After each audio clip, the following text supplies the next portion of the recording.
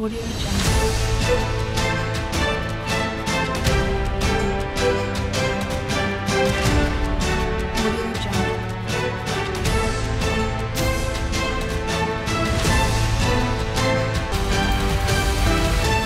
Audio Jungle. थाना सदर बाज़ार के क्षेत्र कचहरी परिषद में अधिवक्ता भूपेंद्र सिंह को गोली मारकर हत्या कर दी गई थी, जिसके संबंध में थाना सदर बाज़ार पर मुकदमा पंजीकृत किया गया, जिसमें शाहजहांपुर पुलिस द्वारा हत्या के चार घंटे के अंदर सफल अनावरण करते हुए हत्या करने वाले व्यक्ति सुरेश कुमार गुप्ता को गिरफ़्तार किया गया है, जो पेशे से अधिवक्ता है।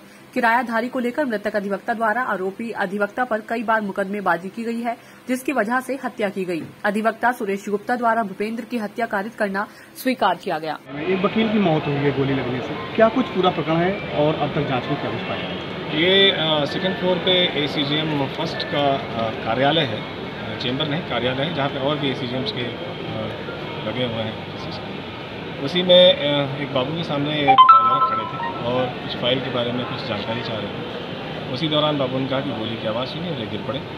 उन्हीं के पास में एक तीन सौ पंद्रह बोर का कट्टा भी मिला है और वहाँ आसपास और भी इनके खड़े होना नहीं बताया गया बाबू द्वारा। अभी उनसे हालाँकि पूछताछ भी होगी, एक्चुअली क्या घटना हुई लेकिन अभी तक की जो बातें आई हैं, उससे ऐसा लगता है कि ये अकेले वहाँ खड़े थे, उनके आसपास कोई था नहीं और गोली लगने की वजह से ये नीचे गिर पड़े और उनके पास कट्टा भी मिला। जो फॉरेंसिक टीम है, उसको तुरंत बताया गया, वो आके उसने अपनी कार्रवाई की है। जो साइंटिफिक एविडेंसेस कलेक्ट करने होते हैं, वो उन्होंने किया है। उसके हैंड स्वैप भी लिए गए हैं जो डिसीज हैं उनके और बाकी चीज़ें जो उनकी चोटें होंगी, उनके लिए, उनकी पोस्टमार्टम के लिए तीन डॉक्टरों के पैनल से वीडियोग्राफी के साथ में किया जाना बताया गया है उसको कर लिया जाएगा। और इसके अलावा जो प्राइमा फसाई जो बातें आ रही हैं उनमें ऐसा बताया जाता है कि सुरेश कुमार गुप्ता है। ये भी पहले अभी 2020 में ये वकील हुए हैं उसके पहले इनका कोचिंग वगैरह कुछ चलता था। सुरेश कुमार गुप्ता भी 2019 में वकील हुए हैं। इन दोनों के बीच में सात आठ मुकदमे पहले से इसी अ, मकान की किराएदारी को लेकर शायद हैं अभी चल रहे हैं। इसी सिलसिले में शायद ये पता भी करने आए थे। बाबू से जो सूचना इनको चाहिए थी।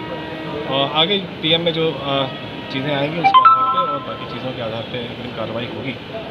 प्रमेय फसाई, ऐसा अभी लगता है कि चूँकि उनके पास भी कट्टा भी मिला है और जो चोट है वो ब्लैंक लगती है। तो इस आधार पर अभी मेरे द्वारा कुछ कहना उचित नहीं होगा, लेकिन पीएम रिपोर्ट में चीज़ें और भी स्पष्ट हो जाएँगी। वहाँ क्या करना है?